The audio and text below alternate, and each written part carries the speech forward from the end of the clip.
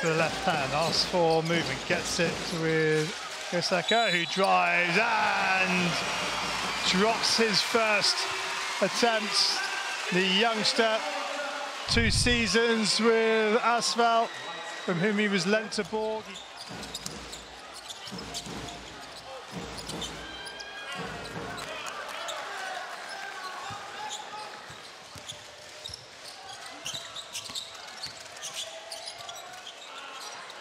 Bryce Brown, he's got plenty of time, plenty of space, and he kickstarts Bourg in the second quarter. Benitez.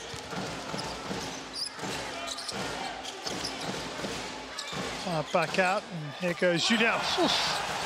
Julien rockets it in. Recycling the ball to Richard inside the final minute of the first half. Sal tries to find the screen, and that is right on the edge. No, that is a three-point score. Sealy. Still no addition to the Bourg scoreline since half-time. Guzman hits the three, and it's suddenly a 12-point game. Roland almost losing possession, and then double team on Julien. They lose possession, and it is Jones that goes the other end, and we are single digits for the first time. Hard to see who that last came off. Colby, Julien over the top to Salash. Salash pulling it back to uh, Bryce Brown. Bryce Brown hits another.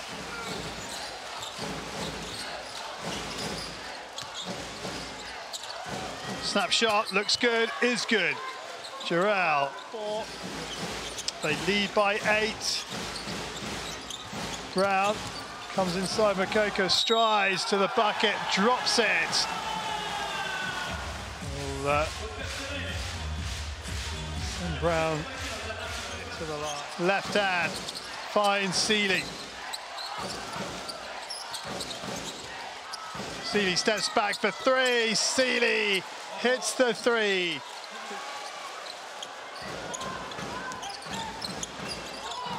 Good press, turnover ball.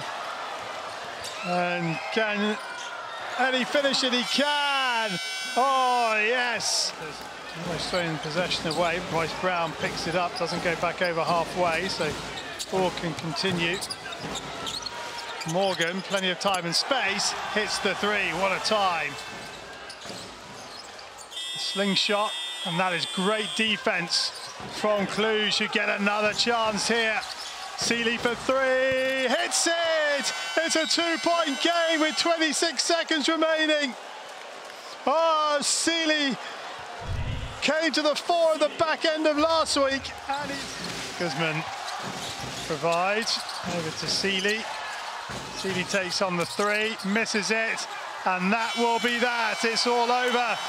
It's a big win for Bourg en Bresse, but my, they were made to work really hard by Cluj-Napoca, who were very disappointed by their performance in the first half, but can take great heart from their performance in the second.